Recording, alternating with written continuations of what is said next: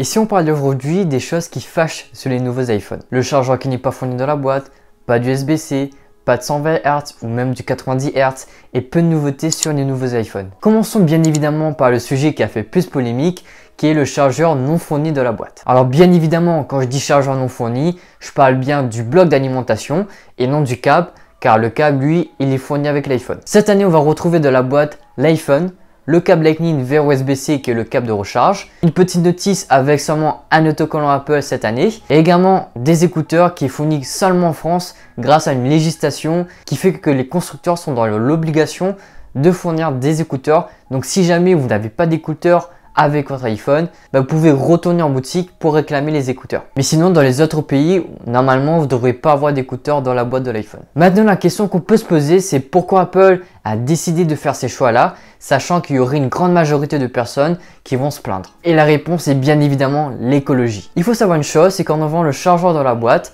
Apple peut stocker 75% de boîtes en plus dans les conteneurs. Juste à regarder l'ancienne boîte et la nouvelle boîte, on comprend un peu mieux le chiffre. Mais c'est aussi avant tout de préserver l'environnement. On parle ici d'une économie de carbone équivalente à 450 000 de voitures produites par an, ce qui est énorme et fera du bien à la pollution dans le monde. Alors pourquoi tous ces mécontentements alors qu'Apple préserve l'environnement? Tout simplement parce que les gens n'aiment pas le changement et prennent les choses pour acquis. C'est comme pour la prise jack avec l'iPhone 7, beaucoup de gens s'en est plein, alors qu'un an après, tous les constructeurs ont suivi la tendance alors que c'était les premiers à critiquer Apple. Vous verrez, dans un an, pratiquement tous les constructeurs vont également enlever le chargeur dans la boîte. Mais dites-vous que de plus en plus de gens chargent leur iPhone avec un chargeur induction, avec leurs ordinateurs portables, avec également des chargeurs externes et aussi leur voiture. Je suis conscient que pas tout le monde a un chargeur USB-C chez lui, mais sachez qu'Apple a baissé euh, le chargeur de 10 euros, donc il est passé de 35 à 25 euros, et ont même rajouté 2 watts en plus, donc il est passé de 18 à 20 watts. Donc de leur côté, ils font quand même des efforts, même si on sait tous Apple fait quand même du profit en plus à côté. Maintenant parlons de l'USB-C sur l'iPhone. Il y a un truc que je comprends pas, c'est pourquoi vous croyez que l'iPhone va passer à l'USB-C. Est-ce que vous croyez vraiment qu'Apple va enlever le port Lightning qui est un port propriétaire à eux et se mettre au niveau des autres constructeurs et mettre de l'USB-C Personnellement, je pense pas qu'Apple va faire ça un jour. Déjà, ça sera beaucoup d'argent en moins. Et également avec l'arrivée du MagSafe, ben, je peux vous garantir qu'il n'y aura pas l'USB-C sur l'iPhone. Car ils vont tout simplement supprimer le port Lightning et ils vont obliger aux gens de passer au sans fil, c'est-à-dire au MagSafe. Donc pour le moment, il faudra se contenter d'un câble USB-C vers Lightning pour la recharge rapide. Maintenant parlons du taux de rafraîchissement qui est un sujet qui m'énerve un peu car les gens sont déçus qu'il n'y ait pas du 120 Hz sur les iPhones comme le fait euh, très bien Samsung ou encore OnePlus. Déjà une question qu'il faut se poser, c'est pourquoi avoir du 120 Hz sur un petit écran de 6 pouces? Encore sur une télé de 55 pouces, je veux bien. Sur un écran gaming, je sais pas, 24 pouces, je veux bien, mais pas sur un iPhone. Certains vont me dire, ouais, le gaming.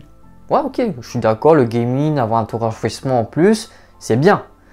Mais j'ai une chose à te dire. On le sait tous que le gaming, quand on joue à un jeu sur un téléphone, c'est vraiment l'élément qui consomme le plus la batterie. Alors imagine seulement, tu mets un écran 120 Hz sur un iPhone, plus un gros jeu, je sais pas, de PUBG, de Call of Duty mobile, bah crois-moi, tu vas pas tenir plus de 3 heures. Et imagine avec la 5G en plus, l'autonomie de ton iPhone va fondre et tu pourras changer déjà ta batterie dans un an. Déjà avec l'arrivée euh, de la 5G sur les nouveaux iPhones, l'autonomie a pris quand même un petit coup. Alors imagine qu'Apple mettait du 120 Hz bah ça serait un scandale. Certains vont me dire que les Samsung Galaxy S20 ont une bonne autonomie malgré qu'il a euh, de la 5G et du 120 Hz.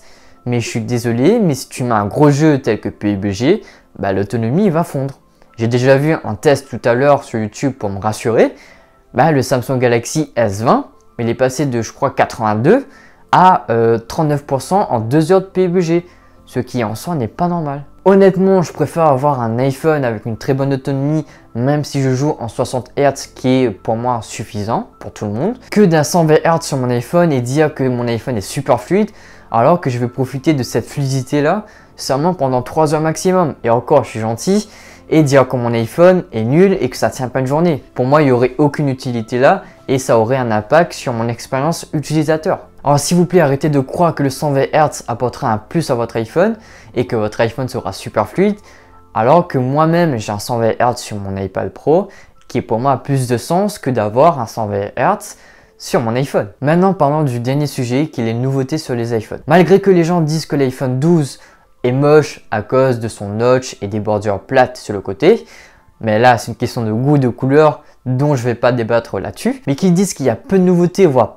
pas de nouveautés sur les nouveaux iPhones par rapport à l'année précédente, bah là je suis pas vraiment d'accord. Hormis le design qui a été changé, vous avez quand même un magnifique écran qui a été amélioré, vous avez de la 5G qui est arrivée, des modes portrait en mode nuit, des photos de nuit sur tous les capteurs photo, que ce soit à l'arrière comme l'avant. Vous avez également une amélioration en photo de nuit. Vous pouvez filmer en double vision qui est un vrai plus sur la vidéo. Vous avez également une meilleure ouverture sur le grand angle qui va permettre euh, d'avoir plus de lumière sur les photos. Vous avez un nouveau stabilisateur sur le Pro Max qui est une stabilisation mécanique. Vous pouvez euh, capturer des photos en RAW, ce qui est un gros plus pour la photo. Du MagSafe sur les iPhones qui est l'avenir d'un iPhone sans port. Et une nouvelle puce toujours plus performante que n'importe quel smartphone. Et là, tu oses me dire qu'il n'y a pas de nouveauté sur les nouveaux iPhones Pour moi, c'est clairement une rupture avec les anciens iPhones.